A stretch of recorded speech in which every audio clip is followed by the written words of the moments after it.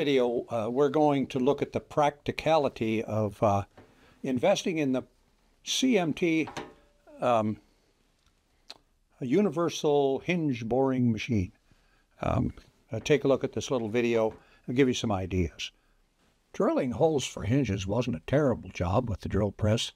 I'd put a fence up on the drill press and put a couple of marks on a piece uh, on the fence and a mark on the door where I wanted hinge holes, and then I'd just drill the holes.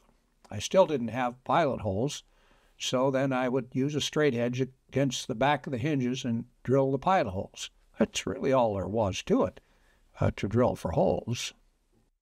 While uh, drilling holes with the drill press and a Forstner bit was easy enough, I didn't have any trouble with that.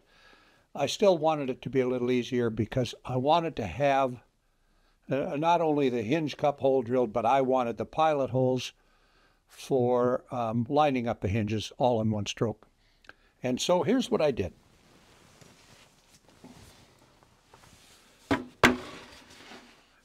This is the uh, CMT um, universal drilling jig, jig for drilling holes in um, doors with the hinge cup holes and the holes for either dowels uh, or pilot holes for screws.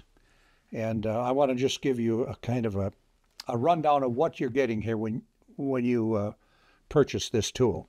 And it simplifies matters because I just keep this hanging on the wall and then come out here and set it on my drill press and clamp it down and then I can start drilling. The universal drilling jig comes like you see it here, unassembled. The 35 millimeter bit is not installed when you get it. It also has that uh, wooden block on the bottom, uh, about a 5 by 7. Uh, otherwise, uh, this is a pretty good picture of what you're getting.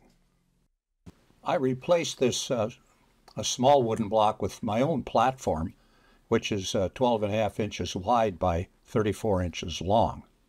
But then you have to put the pieces together. And when you do, it's going to look something like this. Well, it's going to look exactly like this. Um, it'll have that 35 millimeter bit, but you still don't have anything to drill the pilot holes to make or to make holes for hinge cups. So you got to buy the bits that are necessary for that. And uh, that's what you see in this image that I've installed the 8 millimeter bits. Those are left-hand bits. And uh, they'll drill for the, the dowels, and then the 35 millimeter bit is in there. And uh, if you don't want to use uh, dowels and you'd rather just use pilot holes, that's what I prefer. Then you would buy these uh, chucks and the two eight uh, the uh, uh, two millimeter left hand bits for drilling pilot holes. And you can see in this image they are already installed, and that's an easy job to do. Then in one stroke you've got the 35 millimeter hole for the hinge cup and then the pilot holes for putting on screw on hinges. That's my preference. That's how I like to do it. Now, what I don't recommend, and you can do it, you can use your, your uh, handheld drill to drill for these holes, but you can probably see how much pressure I'm having to put to get that uh, bit and um, all three of those bits down into the wood. It works, um, and you'll want your bits to be nice and sharp for doing that. I so let's get back to the drill press where this thing really shines. Here you'll see I'm getting the uh, boring jig lined up for the drill press. And as soon as I get that done, then we can start uh, boring for hinges. Oh wait, I got to clamp the I got to clamp the uh, the fence uh, the jig down so it doesn't slide around.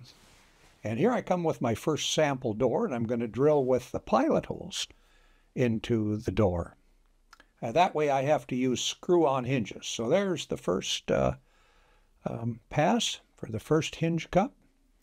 And now we'll do for the other one.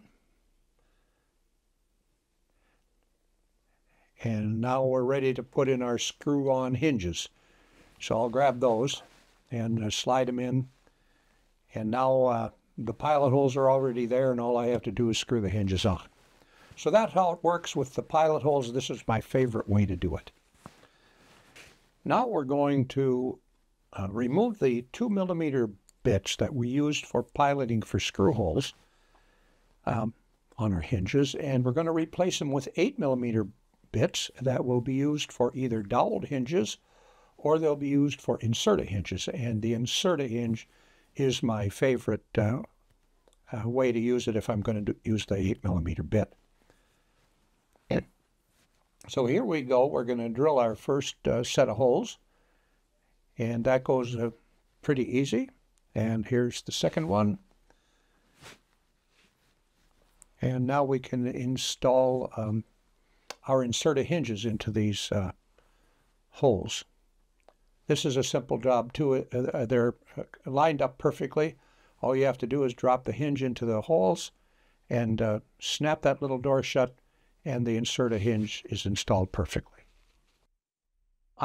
Thanks for uh, watching and I hope you enjoyed the video of CMT's uh, universal hinge boring jig.